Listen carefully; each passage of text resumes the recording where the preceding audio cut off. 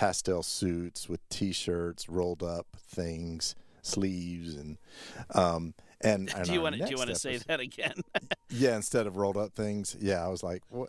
I was like, oh, I'm sitting here looking at it. I'm like, don't read that word, uh, but I did.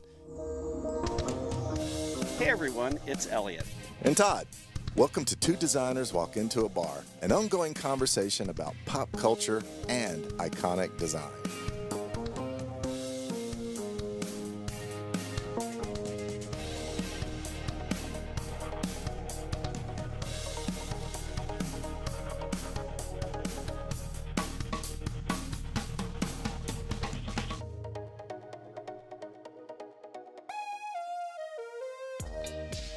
From the punkish late 70s into the plastic early 80s, the New Wave movement affected design, fine art, movies, and of course, music. This season, we're unpacking how it was synthesized. Oh, I see what you did there. Yep.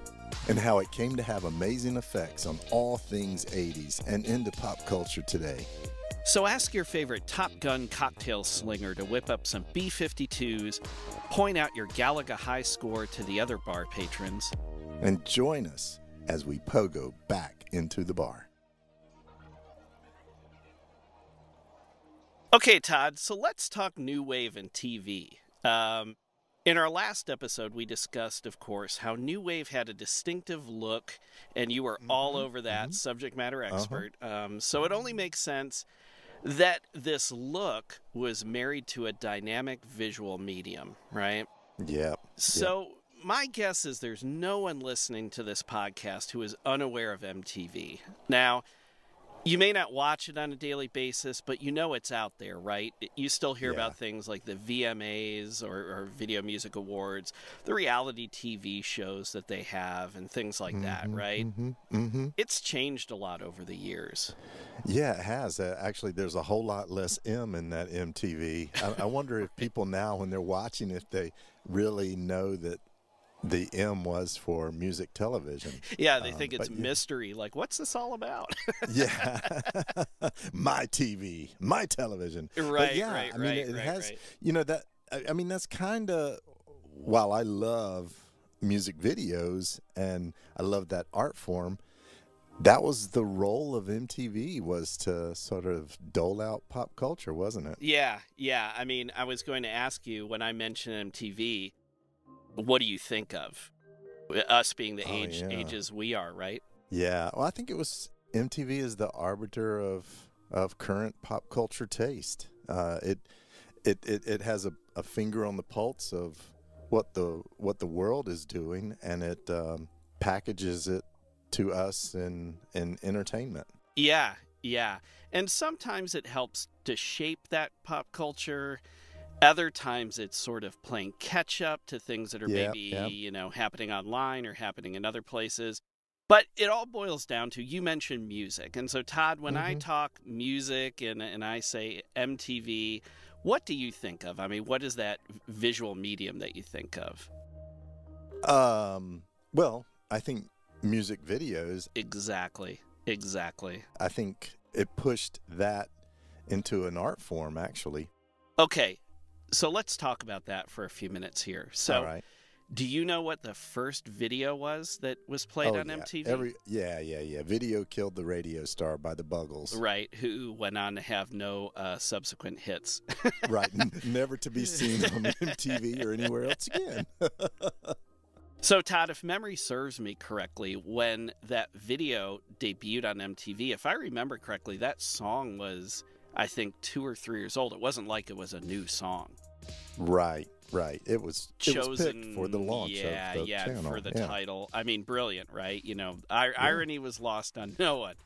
Yeah, yeah. But um, what was the second video? Do you remember that? Like, oh, what was the no. follow up? Jeez.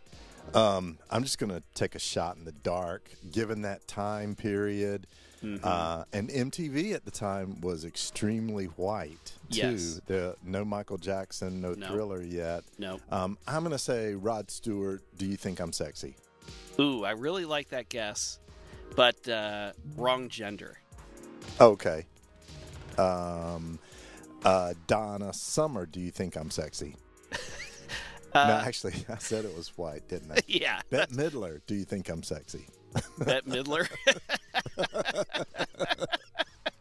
uh, tell you what, I'll, I'll give you a, a, a, hint, and, and just okay. so we don't dance around this all day, if you know, okay. we'll spare the audience if uh, you don't get it. But this uh, person, if I remember correctly, this musician, she was referenced in Fast Times at Ridgemont High as being one of the looks that all of the all of the you know a lot of the female students aspired to have, if I remember correctly. Uh, was it Madonna? Mm, close. How about this? Okay. Pat Benatar. Oh yeah, really? Okay. Yeah. So oh, you you better run by Pat Benatar. you better I, run. She she gave song, us a yeah. very well, early warning. I think, about MTV itself. she she uh, looked ahead 40 years and said you should avoid this. Um, but uh, okay, so a little bit of history about MTV, as we mentioned a moment ago sometimes it anticipates pop culture, sometimes it shapes it, sometimes it's catching up to it. But let's talk about the beginning of MTV, right? How did this thing start? Where did it come from? Because yeah. in hindsight, yeah. of course, it's very obvious. Like we've talked about New Wave, the look of New Wave. You had all this interesting music. Why not put it on TV, right? Mm-hmm, mm-hmm. So when the station first debuted, it, it was 1981. And you'll love this it only debuted in New Jersey. so it only wow. debuted right outside of New York City, so like northern New Jersey. So uh, a lot of people think, oh, MTV was this bomb that dropped, and it certainly did take off quickly. But originally, it was it was pretty small.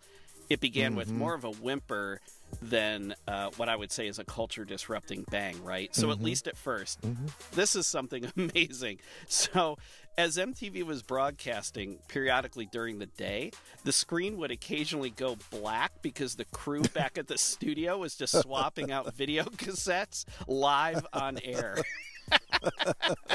so it's kind of like a video version of like an eight track when in the middle of the right. song it was switched to the other side of the eight track. You're like, oh, okay, guess this is happening now. Uh, and you can see the director off like like doing the uh, spread it out hand signs. yeah, yeah, just yeah. talk, just talk, say something. yeah, just extend this a little bit longer. Yeah. Speaking of extending things a little bit longer, this was a channel that, for good or ill, was on 24 hours a day. And this was during the time period where satellite cable was kind of coming into its own. Yeah. But the main uh, TV channels, uh, they had the Star Spangled Banner late at night, and then they yeah, had the yeah. test pattern, and that was sort of that. Um, so this was on 24 hours a day. No, what did you say? You said it started in 1981, right? Yeah, yeah. Um, well, so I mean, perfect year. That happens to be the year I graduated from high school and started college in the fall.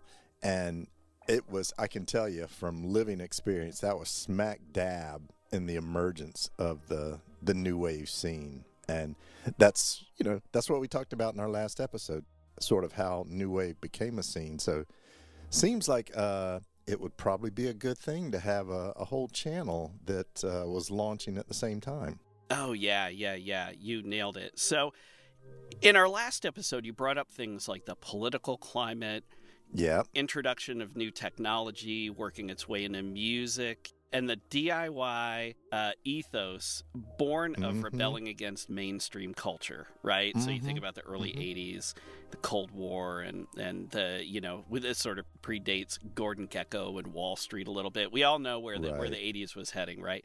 So it's wild to think about a TV station aimed at young people launching during this time. But hey, as we know, it worked. So who is behind all of this? That's something I've never known. I've never looked it up. Yeah, this is a, a great question to ask. It was a guy named Robert Pittman, and he's still in the game today. He's he's an entrepreneur. He's uh, subsequently went on to, uh, among other things, he started um, iHeartMedia, I believe. So, oh, okay. He's still around, still involved in shaping pop culture. But it was him and a team of about 20. And this guy at the time was 26 years old. So wow. he was a bit of a wonderkind, right? And he was plugged into both pop culture and business. You know, you talked Mm-hmm. about mm-hmm. being in your late teens. He wasn't that that much older than you, but he was mm, old right. enough that he could kind of have a little bit of, of power and have some business chops. And we don't Mm-hmm. have time to go into his full backstory in terms of like how he got to be in this position. But long story short, he had a history in radio in the 70s and he then produced and co hosted a music video and news show in 1978 that ran on local TV stations in New York City. So, you know, oh, I mentioned that okay. MTV launched in northern New Jersey, so same part of the world, right? Right. Okay, so he convinced Warner Amex. So, as you can guess, this was a joint broadcast venture at the time between Warner Brothers and Amex, American Express. Okay. Uh, that the executives he he talked to the executives there and he said that young people specifically between the ages of 12 and 34 were being overlooked by the current TV stations at the time right? Yeah.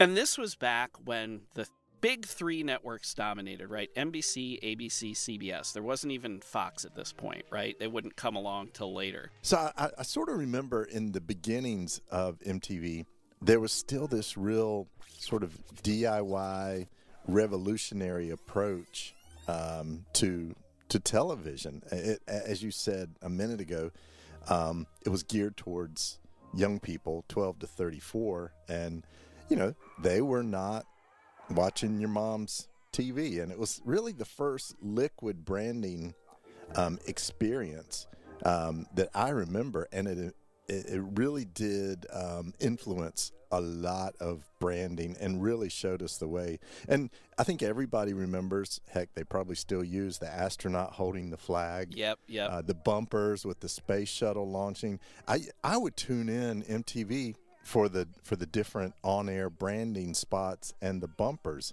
um, because they were always doing cool animated stuff. And you know, because of that, because of the fluidity of that branding, I can start to see a bridge to uh, new wave. Yeah, as you're talking, I'm thinking of, you know, you and I are fans of punk music and DIY, as we've talked Yeah. about. And, you know, what they were almost doing with the artwork was like an animated punk flyer, right? They were finding this Right. available art. They were then doodling on top of it. And then they were, through the use of television and animation, making it move and do fun stuff, right? So, totally uh, building on the DIY stuff we had talked Mhm, about in the last episode, right? So, back to New Wave for a minute here. There was one big challenge launching this new station content. Yeah, yeah. So, most bands at the time in the United States didn't have videos, and a lot of bands and, and record labels, you know, they might have been aware of what videos were, and there might have Mhm. been these kind of very simplistic versions of that that were sort of made in the service of like maybe bigger shows or bigger broadcasts. But no one really invested in videos at the time because there really wasn't an outlet for them here, right? So, Right. thinking right. about things like the cheese that was network variety shows in the 70s Yep. and Yeah. that's really what adults considered hip right and networks considered to be safe hmm. Yeah, yeah. Okay, we'll let that one go. but i know that you mentioned being in college so you were right in the crosshairs of when all of this was happening Yeah, and you know uh, what I can tell you from experience is, and we both went through design school, of course, and in the beginning there, um, you certainly are learning the foundational things of typography, and uh, design was print basically, um, and I can tell you because of um, MTV and then uh, obviously music video as an art form, it really did change the way design school was working for me. In just my short years um, there, more people were interested in in video as as an art form and uh, were really interested in leaving print behind. This was the new thing, and you could do anything with it. And it was narrative design, and that was one of the things that excited those of us that we were students at the time. And I remember, let me just a half a second, real quick story. I had a typography teacher, great typography teacher, and we were talking about MTV during one of our classes. And he said, I remember this quote, I will remember forever. He goes, MTV would have ruined the Beatles. like, yeah, well, yeah, okay, well, because he's like, it's telling you the story, it's telling you the narrative, so you don't figure it out. I'm like, yeah, and it's so cool to watch it. you know, it's funny though, um, and and we'll we'll get into talking about this more in just a minute, but I don't think a lot of the videos that they were showing were literal. I mean, maybe some of them were, but I think exactly like what you're saying. I think a lot of musicians and directors yeah. and filmmakers and everybody involved in this early, I think they saw it as art projects and creative opportunities. Yeah. Well, I think to to your point, you said before they were they didn't have a lot of content, and what they had was used for other shows like Top of the Pops and Hullabaloo and even American Bandstand. Mm-hmm. They were primarily performance videos mm-hmm. um, because mm-hmm. they were they were cheap to make and they weren't making any money. Those videos were never meant to make any money. They were meant to keep the band fresh in front of teenagers' eyes on these other television channels. And it was the, the need for constant content and really the exploration of what MTV was doing, the programming that really exploded that art form. Yeah, I mean, if you think about it, basically it was in a way sort of QVC for music, right? It was Yeah, yeah it's a perfect way to say it. Yeah. It was ads ads for songs and and musicians and albums interspersed with ads for other stuff. yes, yes. so MTV's programmers, right? They had to look elsewhere like we're we're talking about here. And so they landed yep. mainly on the United Kingdom, right? Mm-hmm, so mm-hmm. as you mentioned, British bands had a trove of videos because of shows like Top of the Pops that had been running yep. for close to two decades prior to MTV launching, right? So mm-hmm, you not only mm-hmm. had new bands, but you also had new visual styles being introduced in the United States. Um, mm-hmm. And this ended up leading to what was known as the second British invasion. You mentioned the Beatles, obviously the first British invasion, but there was right. the second British invasion starting in the summer of 1982. So uh, about a year after MTV launched, and it lasted really until the end of the 80s, right? So mm-hmm. why? Um, long story short, like most things in this country, Todd, I know this will be a surprise to you. Uh, money talks. what? I know. What? I know. I know. Sorry, I, I feel like the I've, I've sort of corrupted you in a way by revealing that tidbit about our culture. yep, you're really opening the kimono now. I'm I, I don't know how to act. I thought you were going to say the commode. I was frightened for a moment. but okay, so yeah, so the, uh, MTV started making money then. Yeah, um, so by September of '82, MTV was in the cultural capitals of New York, so they made their way across the river, and they were also in LA, right? So if you think about where yeah. record labels are located, where centers of cultural influence are, you know, ground zero uh, on both coasts, and the rest, as they say, is history. So yeah. There were two factors here that heavily influenced MTV's early format. So, I mean, besides like swapping video cassettes in and out at random intervals, right? so, first, the target audience. You and I both talked about that a minute ago. Now, they wanted ages 12 to 34. And what they found out actually was that over 50% of their audience was actually 12 to 24. So, even okay, younger. Yeah and that these folks watched between 30 minutes and two hours of MTV per day. Wow. Yeah. Yeah, I remember uh, the summer of, of 1982. I happened to uh, decided to be in summer school, so. Um, now, did you decide that, or was that decision made for? No, no, no, no, no. I did oh, because oh, okay. come on, man. Summer school in the South, you had a couple hours of classes a day, and then you're at the pool.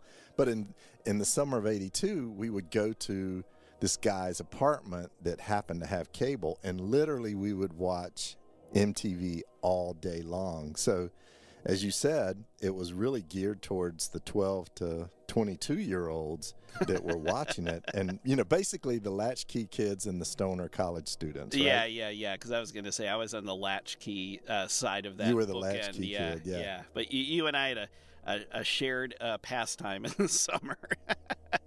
Even ten years apart, we're we're both uh, itinerant loafers. Um, yeah, yeah. Okay, so so that was part of it, right? Was was the age, but then the second was Within two months of launching, MTV was already influencing local record stores in its broadcast mm-hmm. area, right? Mm-hmm. So, you know, mm-hmm. northern New Jersey and, and wherever. So, how did they know this, right? There wasn't the internet. There, you know, MTV was very small. They figured this out because the local radio stations were playing completely different music from what was being asked for in local record stores. Um, okay. So yeah. kids were coming in and they were asking for bands like Men at Work or Bow Wow Wow or the Human yeah. League, right? And so yeah. if you think about this, how else could people in New York and northern New Jersey know about these obscure bands from Australia and England? Yeah, that's true. Um, you know, it had to have a giant influence because it was it was a mixture of audio and visual together to create this presence. So, talk a little bit about the visuals of the early days of MTV. So, for folks who um, may not have been alive during this time and, and may want to go back and look, I mean, just go on YouTube and look for 80s MTV music videos. You can find tons of this stuff, right? Yes. And the visuals were very European, and it makes sense because that's where a lot of the bands were from. So, iconic bands and their videos from this period included folks like uh, The Police, the yeah. Human League I mentioned a minute ago, Duran Duran. I mean, when I think of mm-hmm. early '80s MTV, my mind immediately goes to Duran Duran. I feel like they yeah, they were, were sort of the first poster boys. Yeah, of, yeah. Of Soft Cell, Flock of Seagulls, mm. one of your favorite bands, Todd. Yes. Culture Club, Eurythmics, mm. Wham. Right. So these groups all looked like models, but they actually had personality. They weren't cardboard cutouts, and they were more yeah. willing to experiment stylistically and shot their videos in unfamiliar places to Americans or with oddball artistic effects like Dutch tilts and early mm-hmm. computer mm-hmm. effects, right? Mm-hmm. They had mm-hmm. crazy mm-hmm. clothes and haircuts, they had aggressive makeup, they were androgynous. Yeah, yeah. Two videos that for me are so visually iconic from this period are both European and they both combine video and animation in completely different ways. And I think this directly speaks to. Okay, look, can I guess one of them? Can I guess one of them for you? Yeah, yeah, yeah. All right. I believe one of those videos that are visually iconic, it has to be a-ha's Take on Me. Oh, yeah, absolutely. I mean, I would argue today, like people, yeah, as we're yeah. sitting here today, and they say, you know, if someone were to ask you, name like what you consider to be the quote unquote best music video. If the, if people don't say that right away, it's definitely in the conversation. I mean, there right, are documentaries right. about how that video was made, and even yeah. for people listening to us talking, if you're like, I don't know what these guys are talking about, we guarantee you do. Go look it up. You do. Yeah. Now, what what was the second one? Okay, in my opinion, the second one was Money for Nothing by Dire Straits. Oh, yeah. So there's CGI, there's early computer animation, there's neon. You know, these guys were sort of rotoscoping over the band playing on stage, yeah. right? Rotoscoping is where you take film stills mm-hmm. And then you animate over the top of it. So you're creating animation aligned with the, the visuals. Mm-hmm. And of course, they actually mention MTV, right? How meta yeah, is that? Right. And the video has uh, MTV clips on these uh, CGI TVs. So it's it was very self-referential in a lot of ways because I remember watching this video all the time on MTV. right, right. So it was it was uh, the mirror was being turned back. It was Sting singing that the coda of I want my I want my I want my MTV, right. which the police did a promo for MTV that right. it used to be I want my MTV, and oddly enough, he was singing it to the the melody of "Don't Stand So Close to Me," so it was right. like blam, all these things tying together. And as we talked about in one of our uh, blog posts, wasn't it uh, George Lois, the famous George Lois, who invented yes. the phrase "I want my MTV"? So, like all yes. of these things, we got this Dagwood sandwich of pop culture, Todd. Everything's just stacking on top of everything else. Now, when I think of music video visuals, I totally agree with you on those two. There's another one that was a, a little later in coming, but I think it it really um, set MTV on fire, and that would be Peter Gabriel's Sledgehammer. Yes, stop motion animation. Yeah, I mean, just the amount of time to make that really did, just like um, the a-ha rotoscoping video, that really was that really was telling the world this is an art form that is not only going to affect everything that we do in a different way, but it's here to stay. Mm-hmm. I whenever you say, even when I hear the song, like all the time. I don't know about you. I know we're both visual thinkers, but whenever right. I hear a song where I'm familiar with the video, I immediately yeah. see the video in my head.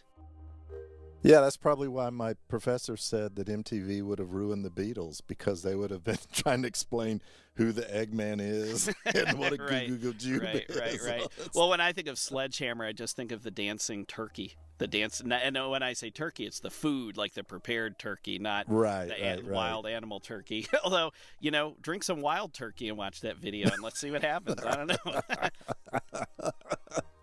Now, here's one more way that music and visuals influence one another, Todd. I mean, we're talking the 80s here, and we would be remiss if we did not mention movie soundtracks, right? Oh, yeah, yeah. So, not only do you have a new TV channel essentially running ads for your song and band, like we talked about, but now you have the additional juice from these movie clips or celebrity cameos in your videos. You have mm, soundtrack mm-hmm. sales if you're a band, um, so it's not just about your album, it's just more exposure. Yeah, yeah obviously John Hughes movies uh, are the cornerstone of this phenomenon, right? Breakfast Club, Pretty in Pink. Then we also have movies, of course, like St. Elmo's Fire. And yeah, yeah, I'm sure that for those of you familiar with these films and their soundtracks, as, as we're talking about this, the songs are jumping into your head. Yeah, yeah. And no doubt, speaking of things jumping into your head, I'm thinking about the fact that our our drinks. Oh, are gone, and you're going to be picking up the next round. you know what, Todd? Like I always say, great minds think alike. okay, all right. We'll be back shortly.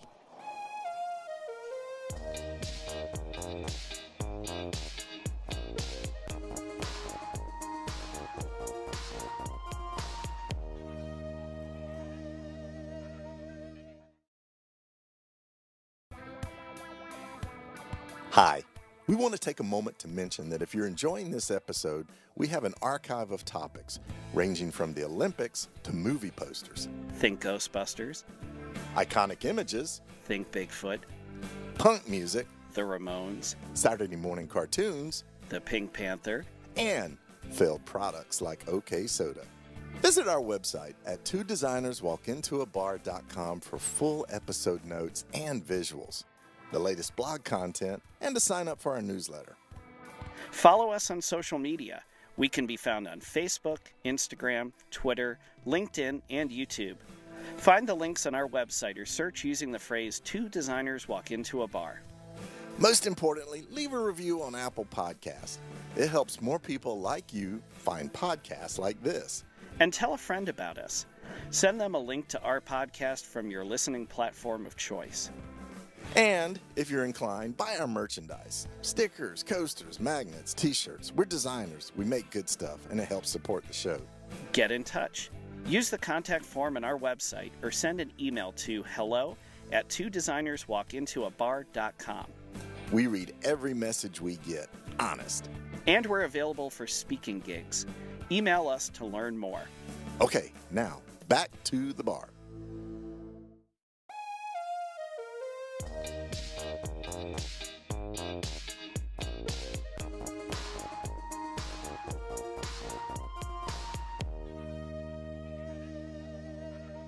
Okay, welcome back, everybody. Hey, Todd, thanks for the round of rum runners. Those were really delicious. Oh, well, I'm glad you enjoyed those, Elliot. That's that's my main concern is to make sure that you are enjoying the cocktails that I'm buying for you. See, money well spent. so, uh, for the first part of our episode, we talked a lot about the launch of MTV and the influence of MTV, uh, what it had on pop culture, um, how it really exploded the art form of of video and how it married the visual and the audio together, um, creating not just new bands and new wave bands and new styles of music, but it also made uh, bands and musicians be more aware of their their visual appeal, right? Yeah, yeah, absolutely. And you know what? Between the Rum Runners and visual appeal, now that we have our drinks, Todd. Yeah. I want to shift gears here for just a little bit and go a tad more tropical. How about that? Uh, okay. All right. Yeah. All okay. Right. All right. Bear with me here. So, we've talked about the influence and confluence of music, movies, and fashion and the stylistic marks that the 80s left on pop culture. Yep. Now, there's one TV show, we've talked about a channel, but I think there's just one TV show I feel perfectly encapsulates this moment when lightning was captured in a glorious neon lit bottle. Okay, Todd. Mm, mm-hmm. I'm not going to reveal what it is just yet. And in fact, I have an infamous two word TV show pitch that launched one of the most popular shows of the 80s, running from 84 to 89. Okay, so if I share this with you, do you think you can guess the name of the show based on the pitch? Sure. Go for it. Go All right. Boy, you're confident. Here's the pitch. All right. So this is the pitch. Yeah. This was the yeah. pitch yeah. they used to yeah. do the show. Yeah. All right. So, uh, so I'm g- I'm gonna pitch a show to you, and you you can tell me if you would greenlight it based on my pitch. Okay. All right. MTV Cops. Oh, Miami Vice, of course. Absolutely. yeah, of course, right? Yeah, it's so iconic, right? So there had been Yeah, plenty yeah. of police procedurals and detective shows before Miami Vice. But this show was a radical departure from Hill Street Blues, Magnum PI, or other shows being made at the time. It did a Right. good job of combining the grit of shows like Hill Street with a tropical setting and exotic cars of shows like Magnum. Mm-hmm. Mm-hmm. Okay, so this pitch, where did this come from? NBC Entertainment's president at the time was a guy named Brandon Tartikoff, and he was the one who sent off the famous two word note to writer and producer Anthony Yerkovich, who, unbeknownst to Tartikoff, actually, this is uh, another Hall of Fame Great Minds Think Alike moment.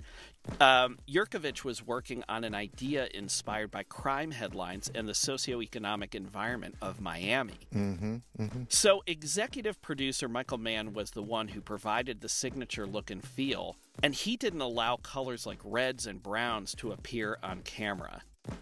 You know, I never thought about that, but uh, Brown would have killed Miami Vice, wouldn't it? Yes. Like, there's just no way. Yeah, yeah. Uh, you don't think of that at all. Um, and Michael Mann, you know, went on to do a couple things too. He was he's sort of uh, world renowned for uh, for his uh, movies and, and his style. Absolutely. And apparently, he was playing with color chips, like paint chips, when he sort of figured out this whole color palette idea and the Oh, colors that should be excluded. Yeah, it was pretty wild. Yeah. So, for those of you not familiar with Miami Vice, uh, the lead characters were two cops named Sonny Crockett, who was a white Florida native. Uh, he played football at University of Florida, and Ricardo Tubbs, who was a black transplant from Brooklyn. Yep. And sometimes these guys were undercover, they were mm-hmm. always stylish, and they were ready to tackle the all too accurate plots, uh, which, to the sometimes chagrin of Miami City officials, who felt like their dirty laundry was being aired on a national stage. Their dirty laundry was set to music every week. wasn't yeah, they were like, cool, I'm going to go there and I'm gonna go do that. yeah, why should I freeze my ass off up north? So then the show, though, layered the new wave style we've been talking about on top of that foundation, right? The neon of South Beach, the pastels of imported designer suits, the sleekness of sports cars and cigarette boats, and all to the soundtrack of some of these bands we mentioned. Duran Duran, Devo, Dire Straits, Depeche Mode, Frankie Goes to Hollywood, and the Smiths, right? Among many, many others. And this was all bookended by Jan Hammer's synth infused instrumentals. And those, again, were just so iconic. So iconic. You're right. The opening titles of Miami Vice, so incredibly iconic. And you know, I always think of like Phil Collins. That was it. Wasn't that he was huge? And Glenn Frey wasn't he huge on Miami Vice? Oh, man. Yeah. You're totally painting the target here. Yeah, absolutely. We'll we'll get to that in just a second. All right. So the show was incredibly cinematic and also incredibly hedonistic, right? Yeah. It glorified violence, sex, drugs. Hey, it was the 80s, right? That's right. Right. So the production quality was much richer and it wasn't flat like most TV shows at the time. I remember, in fact, reading years ago that they basically said that the creators of the show and the producers of the show said they wanted to bring a movie on the TV each week. Yeah. They wanted to make a cinematic quality show. And in their aptly titled book on television shows called TV The Book, critics Alan Sepinwall and Matt Zoller Seitz describe Miami Vice as being more influenced by 1960s art house cinema from Europe than by oh. contemporary television dramas from the United States. Uh-huh. They said, quote, Miami Vice superimposed ripped from the headlines details about drug smuggling, arms dealing, and covert war onto a pastel noir dreamscape. It gave American TV its first visionary existential drama. I mean, Ooh, pastel, pastel noir dreamscape. Yeah. I read that. I love that so much. Count me in. Yeah, 100%, man. So it's hard to explain what a big deal this show was if you were born after its original run. Yeah. People magazine ran an article about Miami Vice with another great quote, saying it was, quote, the first show to look really new and different since color TV was invented, unquote. Mm, it's like, mm-hmm. wow. Uh, mm-hmm. And as we talked about a minute ago, credit Michael Mann for that. Yeah, it really was the perfect blend of of story and music, which I think I said that earlier as video as an art form. Yep. And it's like an hour long MTV block um, with with plot, with narrative. And you know, uh, we associate the music so much with Miami Vice because labels were lining up to get their artists on the show.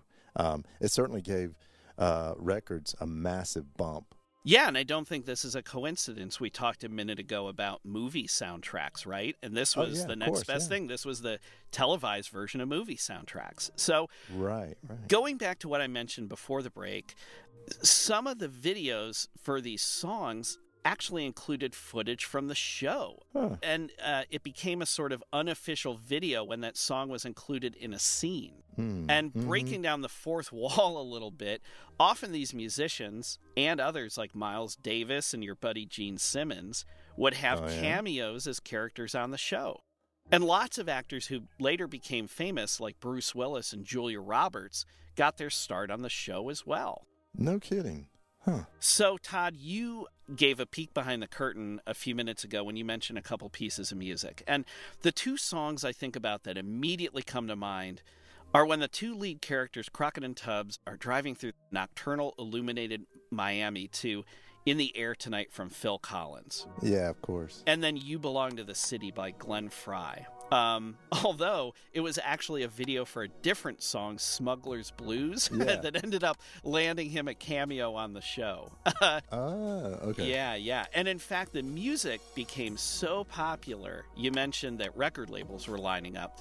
Newspapers like USA Today would publish the songs to be featured in each week's episode. Wow. That so it was part of a reason to tune in to see how they translated the music to video within the plot. So we'll post links to both of these songs on our episode page. Absolutely. Absolutely. And so there are some other long term pop culture artifacts that the show popularized. All right, Todd, see if any of these sound familiar to you. All right. Okay.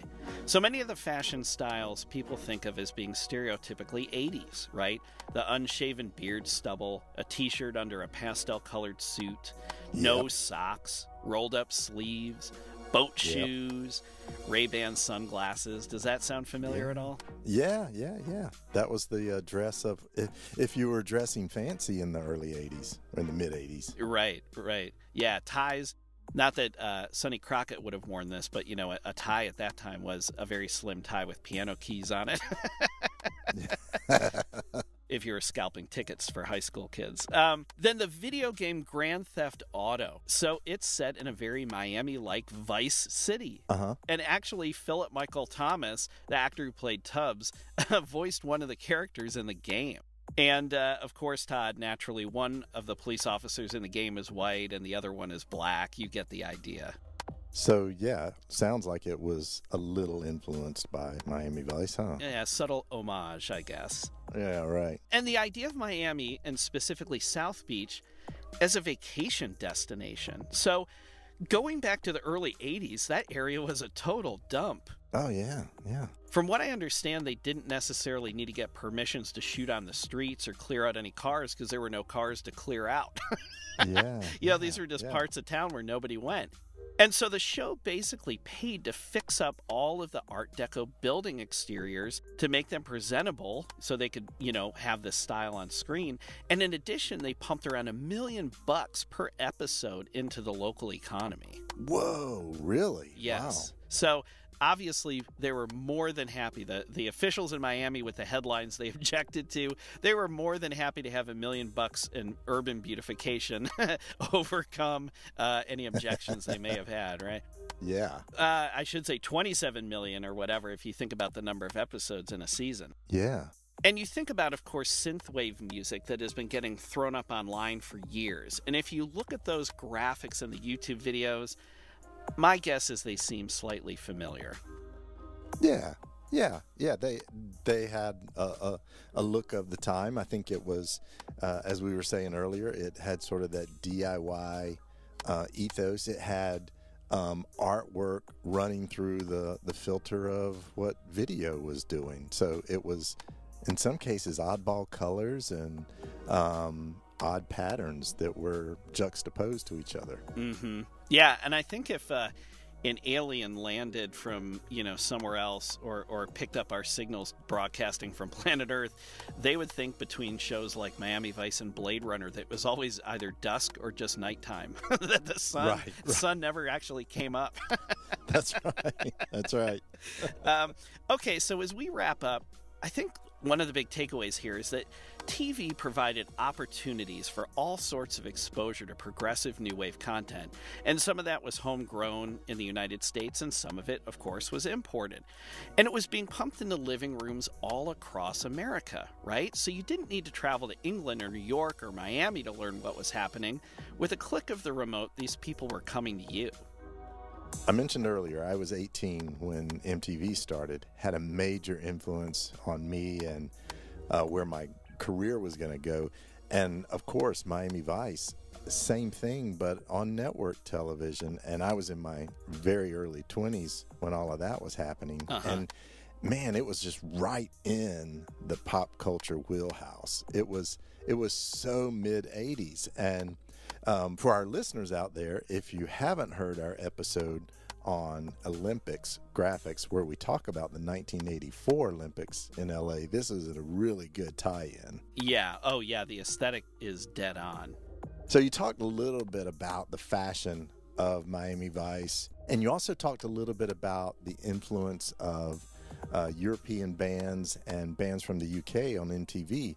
Uh, they were a little bit new, they were fresh, they were different. Obviously, style was really important. So, just to tease our next episode a little bit as we continue talking about new wave and the 1980s, we're going to talk a little bit about how new wave influenced fashion and uh, and our clothing choices from that era. And I think most people are probably thinking right now, "Oh God, I hope they don't show pictures of me when they talk about that."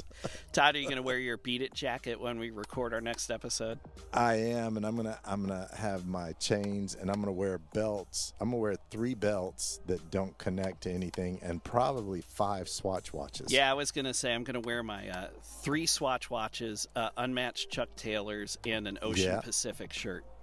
And, and along with my jams. Oh, that's great. Oh, you know what? And we're both gonna have to get asymmetrical haircuts before then too, aren't we? Oh, absolutely. You mean mine? Mine, I guess, will be more asymmetrical.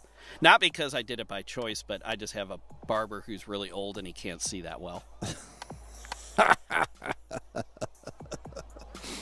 Um, speaking of not seeing well, can you see our bartender from here? No, I can't, and it's not going to get any better because I'm slowly inching toward the door. Oh, I thought I thought that was me slowly inching towards the back of the bar. Oh well, I think I know what's happening here. Yeah, yeah. So, uh, yep, I would love to stay and chat with you more, Todd, but uh, I got a thing, so I got to head out. All right, thanks, Elliot. Uh, it was great talking to you today about the boob tube and new wave. And um, I look forward to us picking this back up on our next episode. Sounds great.